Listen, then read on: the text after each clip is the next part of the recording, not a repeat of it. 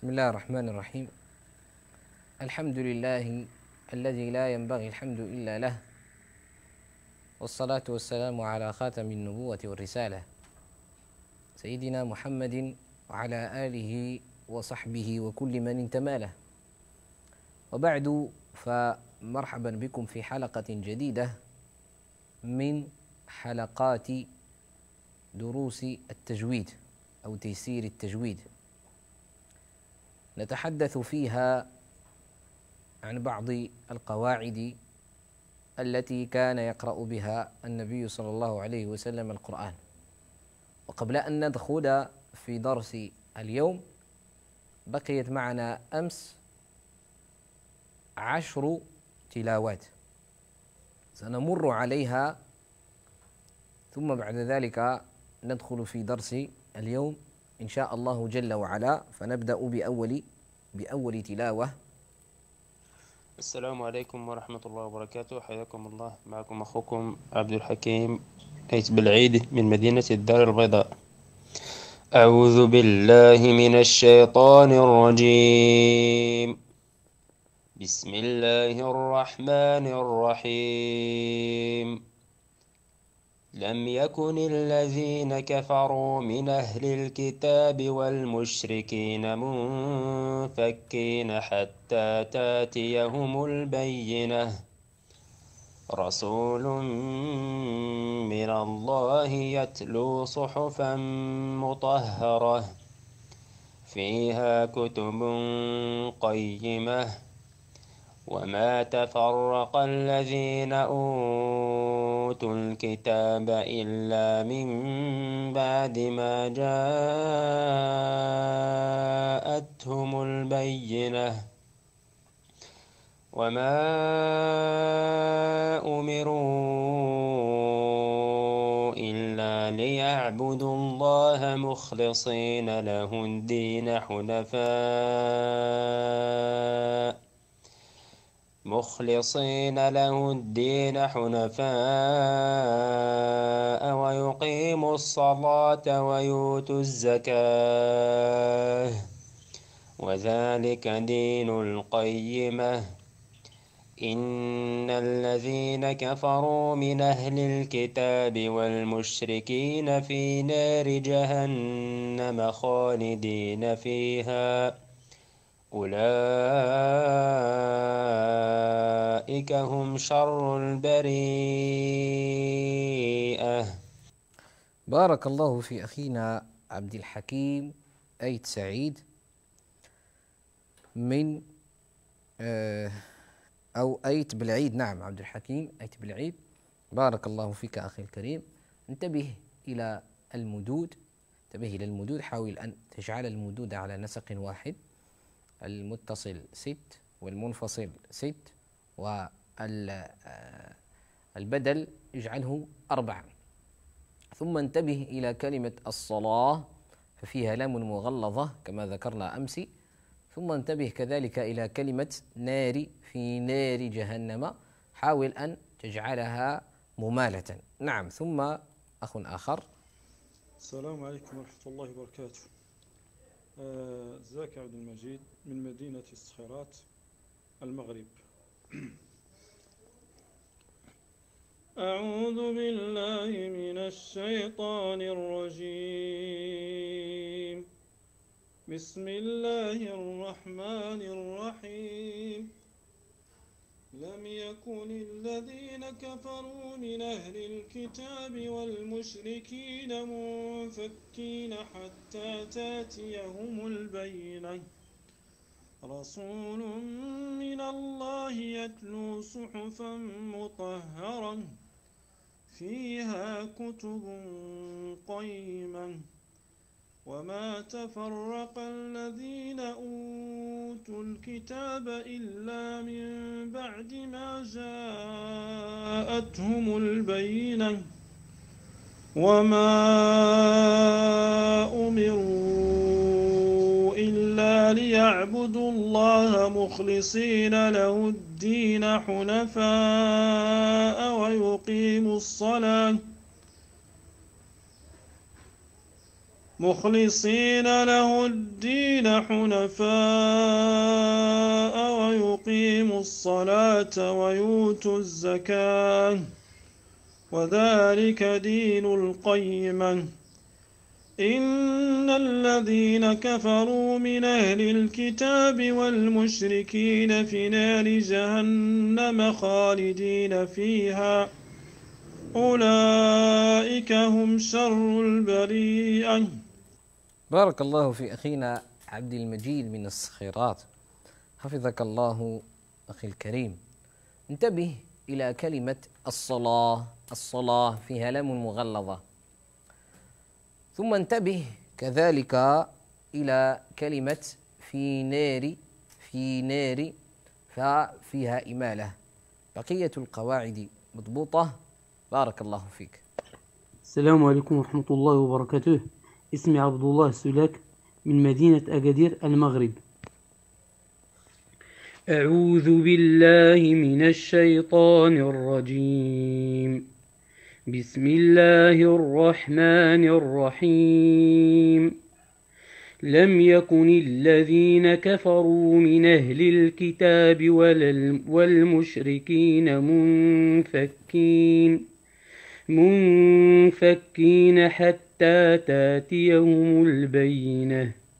رسول من الله يتلو صحفا مطهرة فيها كتب قيمة وما تفرق الذين أوتوا الكتاب إلا من بعد إلا من بعد ما جاءتهم البينة. وما أمروا إلا ليعبدوا الله مخلصين له الدين. له الدين حنفاء ويقيموا الصلاة ويؤتوا الزكاة. وذلك دين القيمة. إن الذين كفروا من أهل الكتاب والمشركين والمشركين في نار جهنم خالدين فيها. أولئك هم شر البريئة. إن بارك الله فيك أخي الكريم. حفظك الله وسددك. أخونا عبد الله من مدينة أجادير. انتبه إلى المدود. انتبه إلى المدود. حاول أن تمد المنفصل. وقد ذكرناه بارحة. البارحة رجع إلى درس البارحة. المنفصل مده ست حركات والمتصل أربع آه ست حركات والبدل أربع حركات. حاول أن تنتبه إلى المدود في آخر حلقة أمس ذكرنا هذه القواعد. ثم انتبه إلى كلمة الصلاة الصلاة اللام مغلظة وقد ذكرنا ذلك أمس. ثم نار فيها إمالة صغرى إمالة صغرى. المد من قوله تعالى وما أمروا إلا هنا مدين يجب أن تمدهما فقد أغفلت أولهما بارك الله فيك أخي الكريم. ثم أخ آخر. السلام عليكم ورحمة الله وبركاته.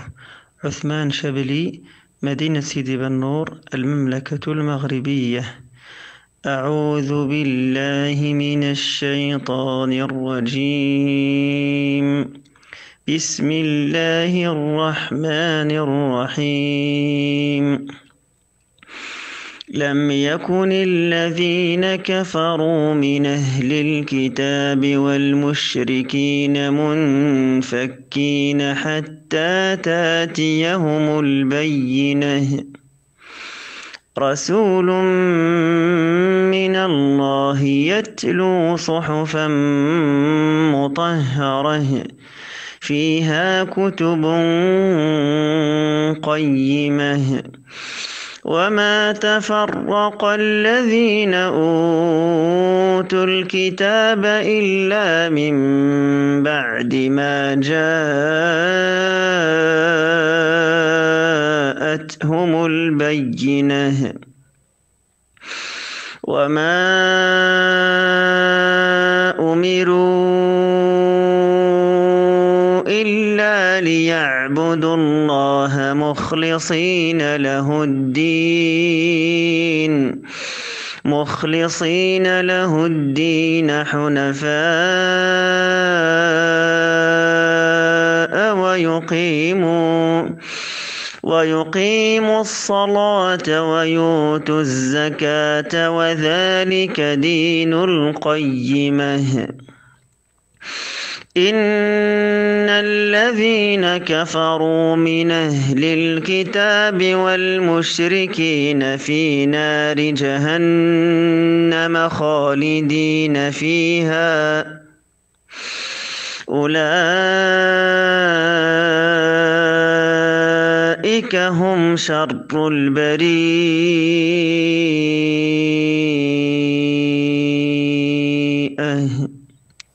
بارك الله في أخينا عثمان الشبلي من مدينة سيد بن نور.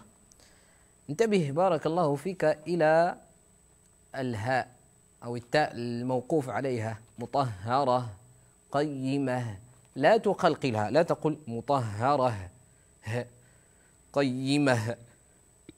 لا فقط مطهرة قيمة ويؤتوا الزكاة. ثم انتبه إلى كلمة نار فيها إمالة صغرى. أما كلمة البريئة فقد مددتها أكثر من ست حركات لذلك مدها فقط ست حركات. بارك الله فيك. أخي الكريم. نعم أخ آخر. السلام عليكم ورحمة الله وبركاته. معكم أخوكم في الله حمزة أسد من الدار البيضاء المغرب. أعوذ بالله من الشيطان الرجيم. بسم الله الرحمن الرحيم. لم يكن الذين كفروا من أهل الكتاب والمشركين منفكين حتى تأتي يوم البينة. رسول من الله يتلو صحفا مطهرة فيها كتب قيمة. وما تفرق الذين أوتوا الكتاب إلا من بعد ما جاءتهم البينة وما أمروا إلا ليعبدوا الله مخلصين له الدين له الدين حنفاء ويقيموا الصلاة ويؤتوا الزكاة وذلك دين القيمة. الذين يذكرون إن الذين كفروا من أهل الكتاب والمشركين في نار جهنم خالدين فيها. أولئك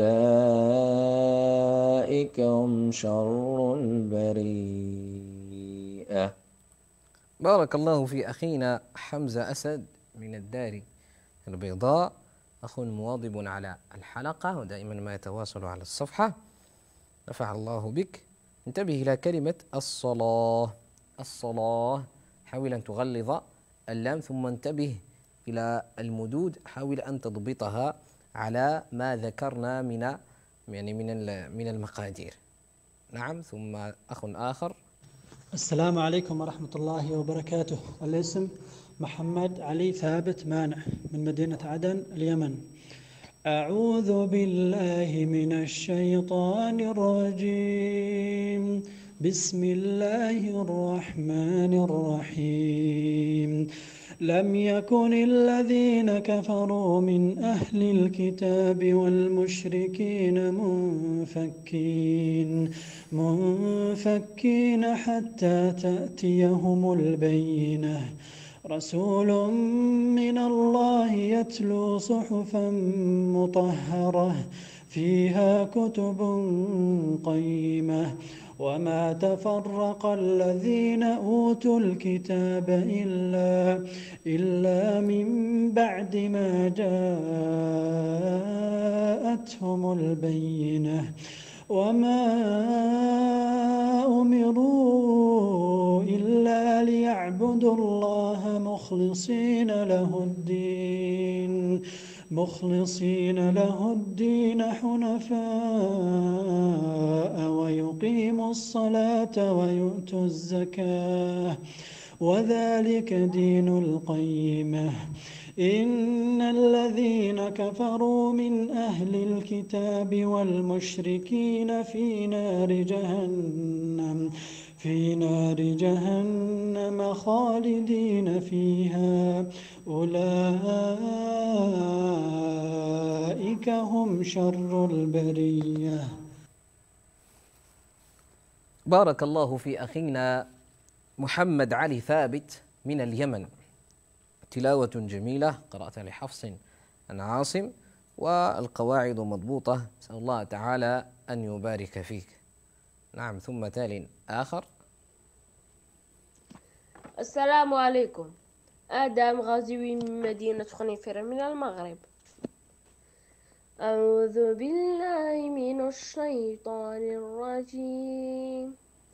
بسم الله الرحمن الرحيم. لم يكن الذين كفروا من أهل الكتاب والمشركين منفكين منفكين حتى تأتيهم البينة. رسول من الله يتلو صحفا مطهرة فيها كتب قيمة. وما تفرق الذين أوتوا الكتاب إلا من بعد ما جاءتهم. من بعد ما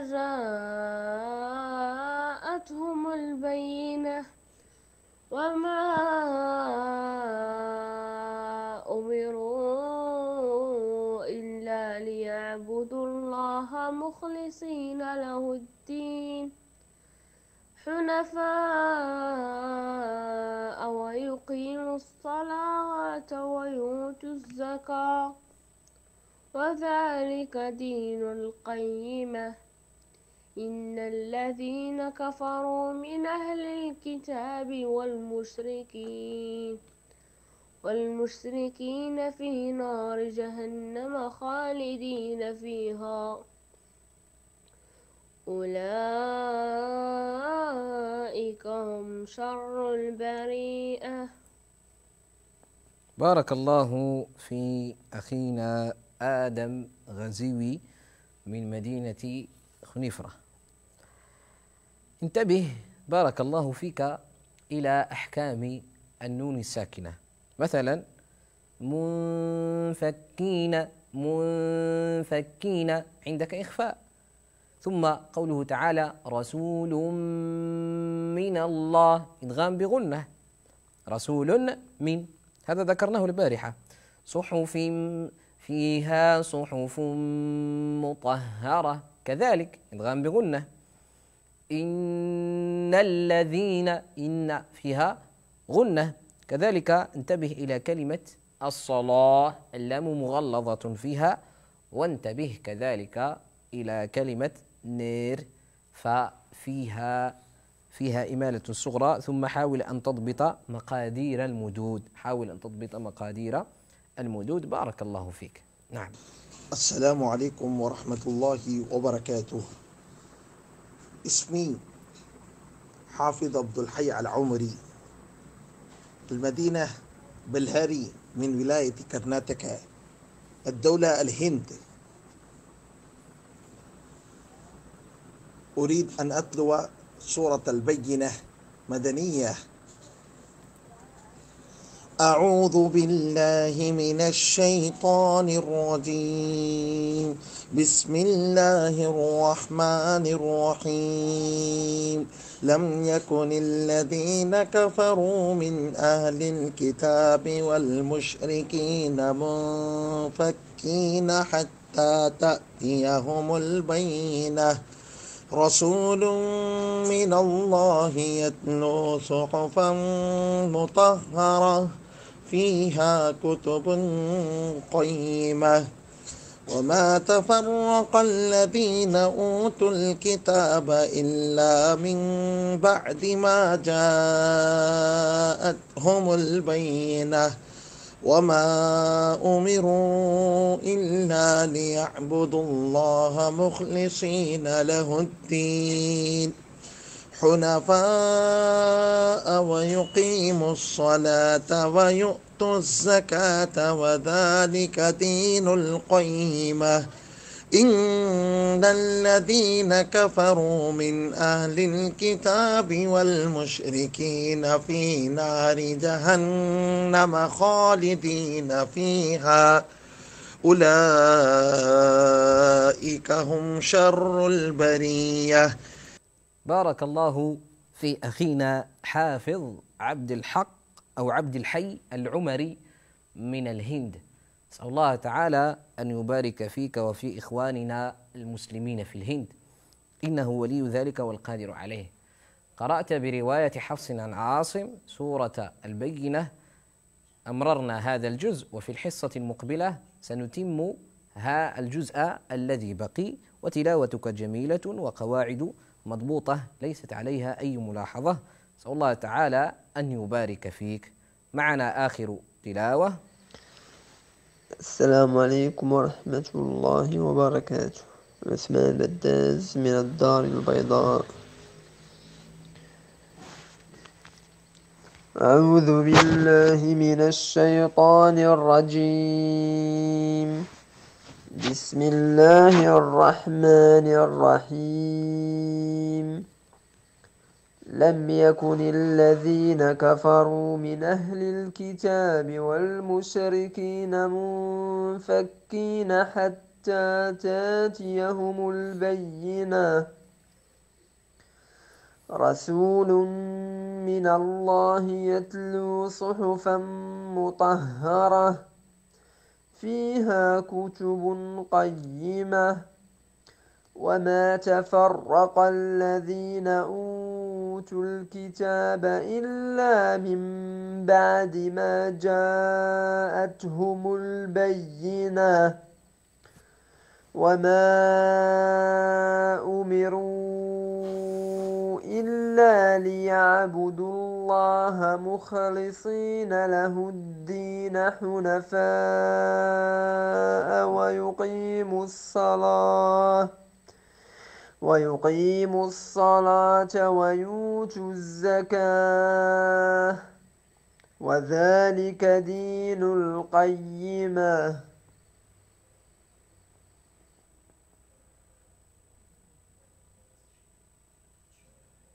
نعم ربما قرأ الأخ. القيمة طيب لم تتم الجزء المخصص لا حرج في ذلك. حاول أخي الكريم أن تنتبه إلى التاء.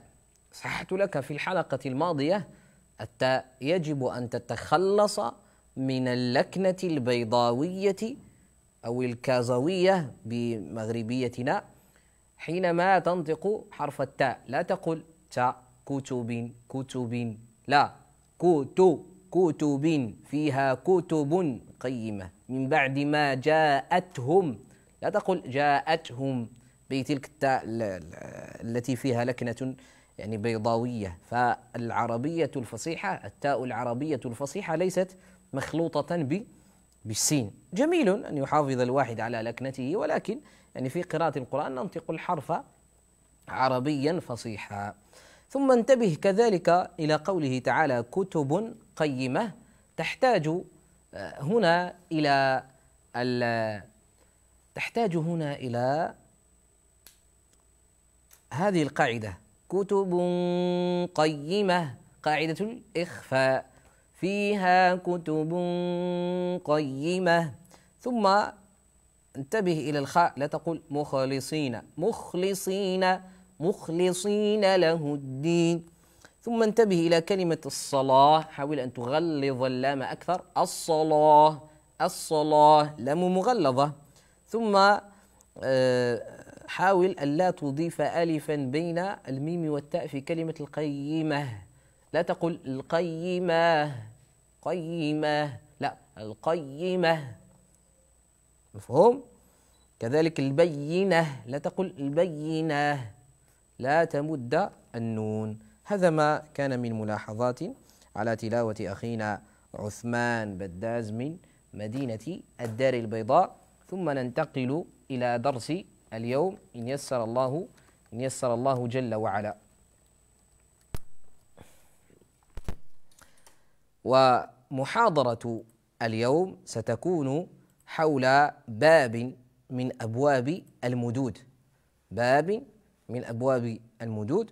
ولينظر الإخوان في في الشرائح هل هي على الوجه المطلوب؟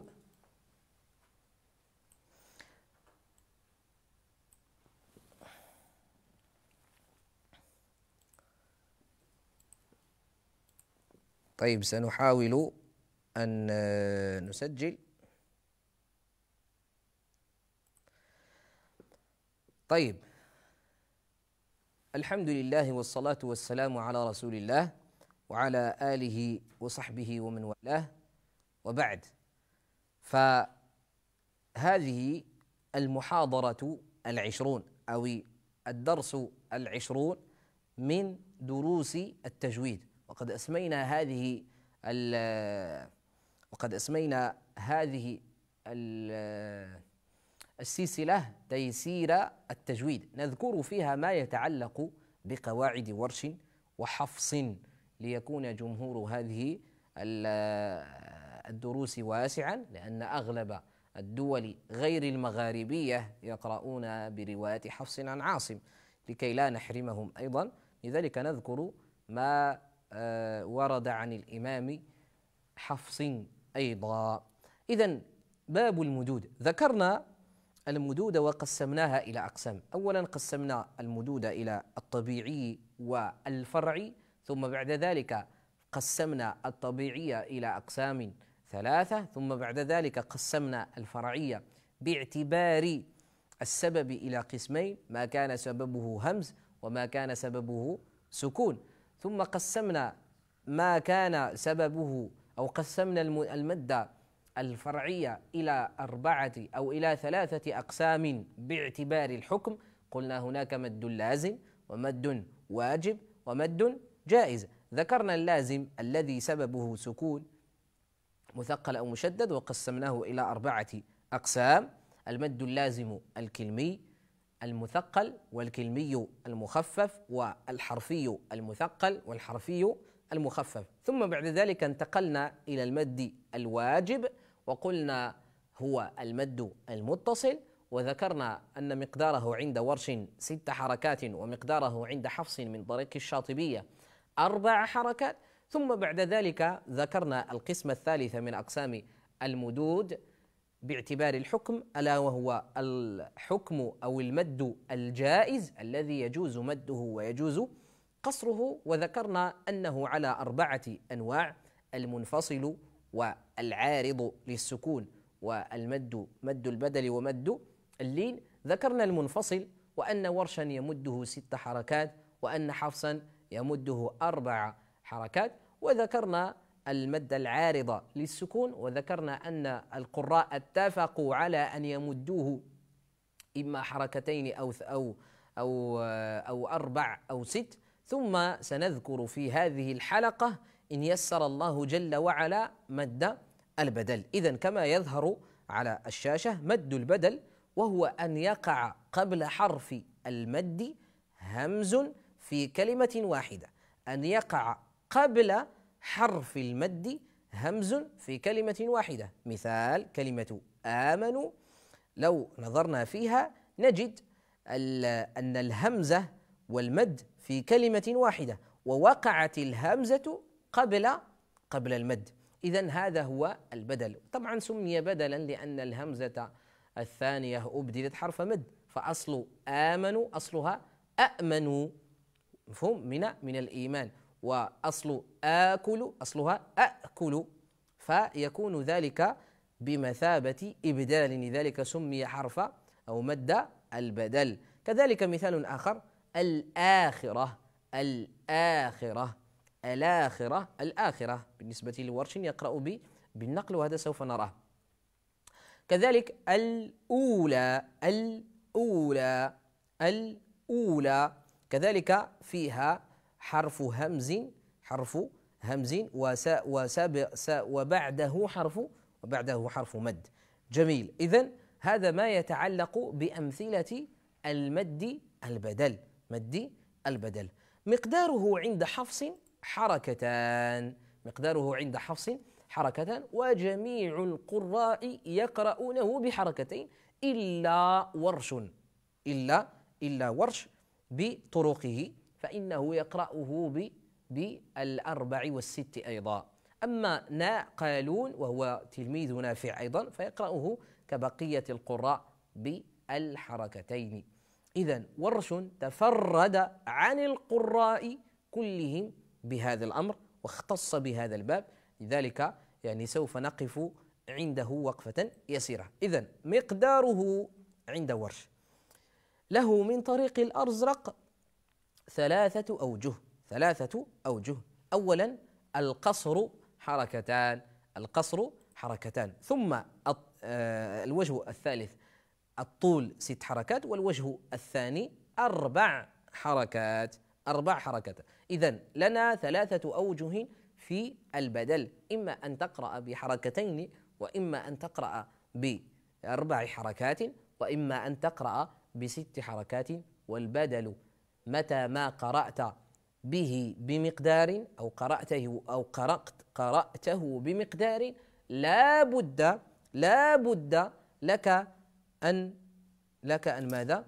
لا بد لك أن تراعي قواعد أخرى متعلقة به. قواعد أخرى يحكم البدل على باب الإمالات ويحكم البدل كذلك على باب على باب اللين على مد اللين. لذلك ينتبه الطالب لهذا الأمر. أنواع البدل عند ورش. أنواع البدل عند ورش. هو نوعان. هو نوعان. بالإجمال نوعان. أولا البدل المحقق. البدل المحقق يكون فيه الهمز ثابتا. يكون فيه الهمز ثابتا. ككلمة آمنوا آمنوا آمنوا. الهمز الأول الهمز الأول. آمنوا. أو كلمة رؤوف رؤوف رؤوف. هذا كذلك الهمز فيه ثابت يعني محقق. ثانيا البدل المغير. البدل المغير وهو على أقسام. أولا مغير بالتسهيل مغير بالتسهيل والتسهيل سوف نراه فيما يستقبل. كقولنا مثلا آمنوا آمنوا من سورة الأعراف وطه والشعراء. من سورة الأعراف وطه والشعراء. آمنوا التي في سورة طه والأعراف والشعراء. أما بقية المواضع فهي بدل محقق. كذلك بدل مغير بالنقل. بدل مغير بالنقل. كقولنا مثلا من السماء يايه من السماء يا يا. طبعا إذا التقت همزتان أحدهم إحداهما مكسورة والثانية ساكنة آه، والثانية مفتوحة. فإن ورشا يا فإن ورشا آه، فإن ورشا نعم هنا ربما قلبت قلبت الترتيب. ربما قلبت الترتيب. بدل مغير بالإبدال هذا هو مثاله. بدل مغير بالإبدال هذا هو هذا هو مثاله. المغير بالإبدال كقولنا من السماء ياية. فنغير الثانية نبدل الياء الثانية نبدلها حرف حرف ماذا؟ حرف ياء. أو الهمزة الثانية نبدلها حرف كقولنا مثلا يهدي من يشاء ولا نبدل الهمزة الثانية واوا وهذا سوف نراه في الهمز في الهمز المزدوج من كلمتين. إذا هذا البدل هنا كلمة آية آية جاء همز وجاء بعده مد.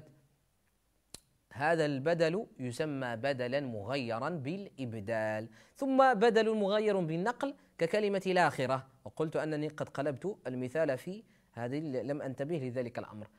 الآخرة لا نقول الآخرة وإنما ننقل حركة الهمز إلى السابق إلى الساكن قبله وقد ذكرنا هذا مرارا وتكرارا ولعل الأمر واضح عند الطلبة. إذا بدل مغير بالتسهيل حينما تكون الهمزة التي تسبق المد مسهلة ثم بدل مغير بالنقل حينما تكون الهمزة التي تسبق المد منقولة حركتها وبدل مغير بماذا؟ مغير بالإبدال حينما نستبدل الهمزة بحرف من الحروف إما الواو أو أو أو الياء. جميل. وكذلك بالنسبة للبدل المسهل يعني قد تجده يعني في غير هذا المثال الذي الذي ذكرنا. طيب كل هذه الأنواع فيها الأوجه الثلاثة إلا ما كان المستثنى ونذكره لاحقا. يعني كل هذه الأنواع سواء كان البدل مغيرا بالنقل أو مغيرا بالتسهيل أو مغيرا آه، كذلك بالإبدال فإن ورشا يمده إلا ما كان إلا ما كان يعني مستثنى. وأفضل مثال على المغير بالتسهيل قوله تعالى ولقد جاء آل فرعون ولقد جاء آل فرعون هذا هو المغير بالتسهيل ولكنه مستثنى ولكنه مستثنى لأننا نمده حركتين. فقط وسنذكر ذلك لاحقا ربما في باب الهمزات. طيب مستثنيات البدل عند ورش. هناك ثمانية أشياء يستثنيها البدل. يستثنيها ورش من مد البدل. بمعنى ليس له فيها إلا إلا ماذا؟ إلا القصر أو هناك شيء يعني ربما هناك أوجه مختلف فيها. طيب أولا إذا وقع الهمز بعد ساكن صحيح متصل به إذا وقع هذه المسائل تحفظ أيها الطلبة. هذه المسائل تحفظ. إذا وقع الهمز بعد ساكن صحيح متصل به إذا وقع الهمز بعد ساكن صحيح متصل به. مثلا القرآن القرآن. لا نقول القرآن. لا نمدها أربع حركات أو ست لا حركتين فقط لأن الهمزة وقع بعد ساكن الراء ساكنة مفهوم؟ ساكنة ومتصلة بالهمزة وصحيحة ليست حرف علة ليست حرف حرف علة. مثلا قد تجد مثالا فيه حرف علة. إن, إن, إن, إن وجدت هذا المثال أطرحه عليكم. كذلك مسؤولا مسؤولا مسؤولا. وقعت الهمزة بعد ساكن اللي هو السين الذي هو السين ساكن متصل به وهو حرف حرف صحيح ليس حرف علة. ثانيا كلمة إسرائيل إسرائيل. هذه الكلمة لا يمدها ورش إلا حركتين يعني همز البدل فيها لأن فيها مدين إسراء راء هذا مد متصل هذا نمده ست حركات عند يعني عند ورش. ولكن إيل إيل الهمزة والياء التي بعدها لا يمدها ورش إلا حركتين إلا حركتين إلا أن يقف عليها فيكون ذلك من باب من باب العارض للسكون. وسنذكر إذا التقى عندنا مدان أيهما أيهما يغلب هذا سنذكره في آخر في آخر الباب. كذلك الثالث الألف المبدلة من تنوين. الألف المبدلة من تنوين. يعني أن يكون هناك همزة منونة منونة تنوين الفتح ثم يأتي بعدها ألف ألف العوض. مثلا هزؤا هزؤا. فلا نمدها لا نقول هزؤا. أربع حركات لا. إنما نمدها حركتين. هزؤا. كذلك ملجأ لو يجدون ملجأ. فلا تمد ست حركات أو أربع إذا كنت تقرأ بالطول في البدل أو تقرأ بالتوسط لا إنما حركتين فقط. كذلك نداء نداء ماء وهكذا. الأمثلة الأمثلة كثيرة التي فيها ألف العوض الرابع المستثنى. الرابع كل مد وقع بعد همز وصل بعد همز الوصل. مثال إيتي.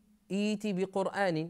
إيتي لو بدأت فتقول إيتي بقرآن. إيتي بقرآن. لا تقول إيتي بقرآن. لا غلط. إذا لي إذا لي. نقول آه، آه، ومنهم من يقول ذلي يقول ذلي ولا تفتني. لا تمدها لا تقل يقول غلط. أو تقول حينما تقف تقف وتبدأ بها. إذا لي لا تقول إذا لي. وإن وإنما تمد فقط حركتين. حركتين. مثال آخر أوتمن فليود الذي تمن. فليود الذي تمن أمانته. لا تمد أكثر. لا تمد أكثر من ذلك. خامسا المستثنى الخامس كلمة يواخذ. أينما وقعت؟ كيفما وقعت؟ يواخذكم يواخذنا تواخذنا. كيفما وقعت؟ الهمزة هنا مغيرة مغيرة ب- صارت واوا وهو مستثنى. لأننا رأينا في البدل المغير أنه كذلك يمد ولكن هذه الكلمة مستثنى. ثم سادسا كلمة عاد اللولى عاد اللولى على الصحيح لأن هناك من يمدها. هناك يعني آه، أوجه أو هناك من مدها من طريق الأزرق أيضا. عاد اللولى وهي من سورة النجم. وعادا آه، قال الله تعالى وثمود فما أبقى. آه، ذهبت الآية عاد اللولى وثمود فما فما أبقى. المهم عاد اللولى هذا الموضع الوحيد الذي تقرأ بهذا بهذا الشكل. عاد اللولى وثمود فما فما أبقى من سورة من سورة النجم فنقرأها بماذا؟ نقرأها ب بال- بالحركتين. ولن أدخل إلى تفاصيل لماذا صارت عاد اللولى ولا نقول عادني لولى المهم هذه تفاصيل كثيرة قد نتطرق إليها في درس نحو أو غير ذلك. طيب سبعة أو المستثنى السابع كلمة آلان. آلان من موضعي سورة يونس و آه، من موضعي سورة يونس. موضعين في سورة في سورة يونس على الصحيح. كذلك خلاف يعني بين بين القراء في هذا. كلمة لا لأن لأن الآن ليست الهمزة الأولى ليست الهمزة الأولى. هذه الهمزة الأولى الآن أو آلان هذا الأمر تابع تابع للازم تابع للمد اللازم وقد نذكره وحده في في حلقة مستقلة لأن الكلام فيها طويل جدا. في كلمة آلان من موضع سورة يونس. هذه المسائل جمعها بعض مشايخنا في أبيات فقال وقد لا تجد هذه الأبيات على النت لأنها غير منشورة. فقال يا طالبا من بدل ما قد خرج طبرا أخي فهو مفتاح الفرج. ثم ذكر المسائل الثمانية. إن همزة بعد صحيح قد سكن متصلا كذاك إسرائيل عن. إذا ذكر هنا اثنين. أن يكون أن تقع الهمزة بعد صحيح ساكن متصل به. لذلك قال إن همزة بعد صحيح قد سكن. متصل يعني صحيح متصل قد سكنت يعني قد سكن هذا المتصل. كذاك إسرائيل الكلمة الثانية هو المستثنى الثاني إسرائيل. وكل مد بعد همز الوصل هذا المستثنى الآخر فاستثنه نحو يقول ذلي فاستثنه نحو يقول ذلي فأعطاك مثالا. إذا هذا الثالث نحن ذكرنا ثمانية. يك؟ هذا الثالث. الرابع والألف المبدلة والألف المبدلة من تنوين والألف المبدلة من تنوين وقفا كملجأ بغير مين. إذا هذا هذا الرابع. ثم واستثني لو يواخذ حيث تقع لو يواخذ الخامس والخلف في آلان عادا السادس والسابع. آه نحن ذكرنا نحن ذكرنا ثمانية. إذا آه الأول الأول الهمز الذي وقع الذي وقع بعد بعد بعد ساكن بعد, بعد ساكن صحيح متصل هذا الأول. ثم الثاني كلمة إسرائيل الثالث أن يكون هناك همز وصل. الرابع أن تكون ألف مبدلة من من تنوين. الخامس آه لو كلمة يواخذ. السادس كلمة آلان. ثم السابع عادا عاد اللولى ربما الثامن. نعم سبعة. ذكرنا نحن سبعة وليس ثمانية. ذكرنا سبعة. إذا ذكرهم الشيخ حفظه الله تعالى وهو أحد مشايخنا. آه سبعة. يعني في آه، هذا الموضع. آه، عندي غلط هنا عادا بدون ضغط عاد اللولعي بمعنى عي افهم وعي هذه الأمور واحفظها من الوعي من آه، نعم وعيت الشيء أي حفظته أي جعلت صدري وعاء له.